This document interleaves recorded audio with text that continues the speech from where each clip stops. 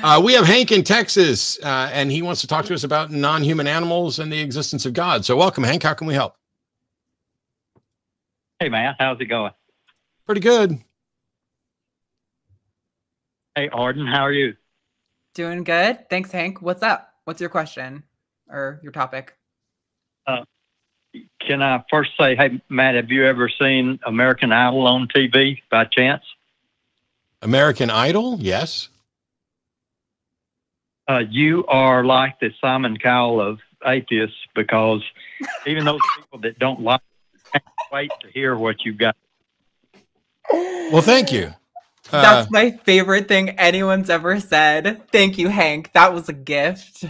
Yes, I'm pretty sure I will be hearing a, a Simon Cowell reference at, like at some point later this week, especially if I mention Judy.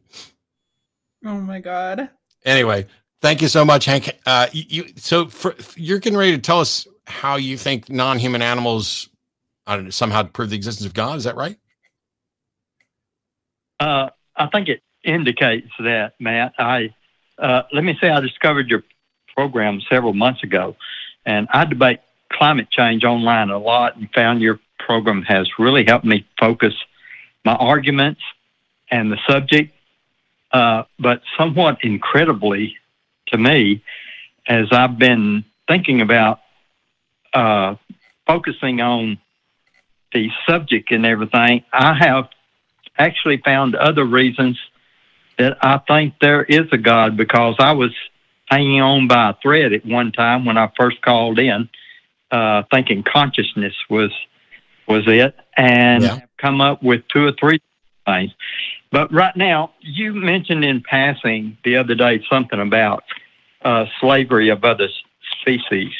Uh, you didn't elaborate on it, but uh, I was just wondering, what are your thoughts about the slavery of other species?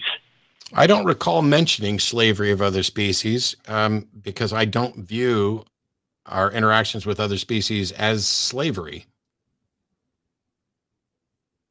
Can I, can I ask real quick? I, I want to I want to make sure we get to this. Um, but when you say you debate climate change, and we're not going to go into a climate change debate here, I just want to know: um, Are you debating that climate change is real or that is not real? Absolutely. I have children and grandchildren I'm extremely worried about. Cool. So, uh, my view on uh, humans is, and, and other animals um, is that we are essentially stewards of the planet, and but primarily with a focus on how it all impacts us. Um, so, I don't view having pets as slavery the way some on on the far far left might do. Uh, I know that some of the animal rights organizations view any sort of uh, having a pet as slavery. I don't. I don't view it that way. Uh, I am concerned about the way we treat animals. Certainly concerned about factory farming and things like that, uh, and cruelty towards animals and stuff like that. Um, but I would never put it in the same category as slavery. Um, but anyway, you you said you you were thinking on this and came up with something where the existence of other animals somehow demonstrates or makes a god more likely. So let let's sort that out. Okay. Uh, I was thinking more of since we own animals and they do our bidding and work that I thought of it as slavery after it was just mentioned. I, am you know, at one time and I started thinking about it. Uh, and it bothered me at first that I couldn't come up with a good reason for why we should be able to even do that to other species. I'll call it enslave them, but whatever name we want to use for it. Because I didn't want to say that we were superior to other species since I don't like using that word with other races or anything. I found it completely objectionable. But it finally dawned on me that I really do think we are superior to the other species. Uh, and for that reason, it, it gives us the allowance to what I would call enslave them, make them do our bidding and stuff, as long as we treat them humanely.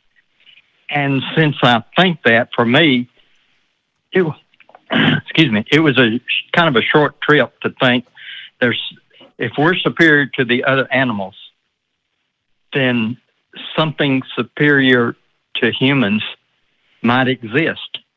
And I saw that for me as indication there might be a God. What do you think? Okay. Um, so I think it's easy and okay t- to say we're superior to other animals as long as you're going to say in this particular category, like I'm smarter than a chicken. I'm not mm-hmm. faster than a cheetah. I'm not, you know, kinder than a bonobo or whatever. It, it, you have to do it with the recognition that we're being very human centric and biased when we start picking the categories and under which we're going to be the superior ones. When you talk about humans using other animals, yes, we do that probably more and better than anybody else, but there are plenty of uh, relationships where uh, animals cooperate and work together or leverage other animals to do their work for them. And there are plenty of animals that, are, that use tools. So the fact that we're in this position where currently we probably our tool use is better than any other animal. I, I think that's just an objective fact. And that we are more likely to use animals for our benefit, not just for food, but I mean as work animals, et cetera, uh, more proficiently than other animals have shows that we're better at that. But better at X doesn't mean better. And even if it did mean that we were better kind of universally, I don't know how that gets us to therefore there's a God or there's likely a God. What are you thinking, Arden? I mean, it, well, I definitely agree that it doesn't get us anywhere near the the uh, the existence of a God. And I think in terms of like our superiority to animals, like I, I think so like we sure we use animals for for like work and stuff like that like a, a, livestock or something but there's also the factor that even if we decided to stop using animals for as livestock for like work or whatever um they're all domesticated. It's not like we can just release those animals back into the wild. Like they're our responsibility now. We have to take care of those animals.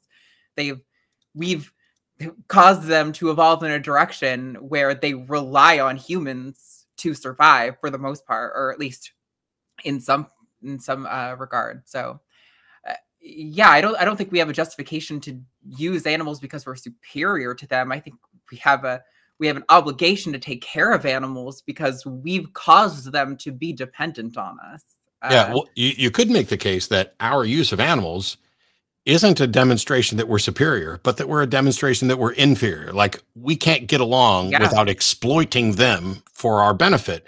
Absolutely. And if you looked at it and in the terms of exploiting them for our benefit, there's nothing about that that is good in the sense of moral or righteous. It is good in the sense that it benefits us. But I don't know what, how, how does that get us to a God, Hank? Or even likely God? Like I said, Matt, uh, I, I was thinking some of the things you said I haven't thought about, but I was thinking more of we dominate animals.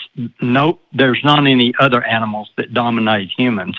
And that's where I kind of came up with us being superior to the animals. And like I said, that it was a short step for me to say if there is kind of a hierarchy of animals as far as dominating, as far as humans dominating other animals, uh, that I call superior, then maybe there's uh, something superior to humans. That I, I get that was on. But then, even even then, wouldn't you be like hinting at the potential for there to exist an animal that's superior to humans, not not a supernatural entity? I, I, don't, I don't see where that. Yeah, when our alien overlords arrive, turn us into slaves, then you'll right. find the next most dominant species. I, I get it. It's natural. what what you're doing, Hank, is is something very similar to what human beings have done throughout history, which is, hey, I see a human and I see another human, and this human is faster than that human. And so maybe there's a fastest human. Maybe there's a smartest human. Maybe there's a fastest being or a smartest being that isn't human. It's a natural progression. However, if we're going to say that that thing exists, that there's something beyond us um, is it using us too? Like, if you're in order for your your kind of analogous argument or analogous argument to, to work, you would say, ah, look, we humans dominate other animals, therefore we are superior to us. And it seems plausible that maybe there's a being who is similar to us, which, as Arden pointed out, you still didn't get to supernatural or God. But wouldn't that also suggest that they are using us? And if our use of animals can be viewed as in our benefit, but not necessarily a moral good, then whatever being is using us, if we figure it out, that doesn't mean that they're good, right? Uh, I agree. Hadn't thought of that, but I, yeah, that doesn't mean they're good. Yep. And right now, not only does it not mean that they're good, we also don't know that it means they exist. So while I can follow your reasoning down to, wow, that would be a possible, that could be a likely, whatever else, uh, I don't see any evidence for it. And um, yeah, I guess I'll stop there. I hope that was helpful. Yeah, it was. I'm always interested in what you think about about things because uh, other people often have ideas that I certainly don't think about. Yep, I appreciate it, Hank. We're gonna let you go because I got a bunch of other calls to get before we run out of time, but we appreciate you. Yeah, thanks, Hank. Okay, thanks. Mm-hmm. I appreciate that Hank's an honest interlocutor. I feel like we, we got a lot of people on other sides of arguments, whether it's here or transatlantic or wherever, and you know you can point out to them where their reasoning is flawed, and they'll just say, "Okay, well, how about this other argument then?" They'll just jump yeah. ship. When at least Hank's willing to say, "Oh yeah, okay, I didn't think about that." Yeah, uh, and I think that's great in the sense that there's plenty of things that I haven't thought about. You're going to come up with stuff yeah. I haven't thought about. I'm going to come up with stuff you haven't thought about. That's the whole point of having these conversations. You and I have had conversations where I I expected like, oh, we, we'll start talking about something. I was like, oh, this is going to be like long and complicated and maybe have to tiptoe. And then one or the other of us will say something and we'll just be like, oh, yeah. And light bulbs click. So, yep. In a metaphorical sense, I don't actually just sit here and turn the lights on uh, and on, but I will next time you're over. I'll just okay good. mess with the switch.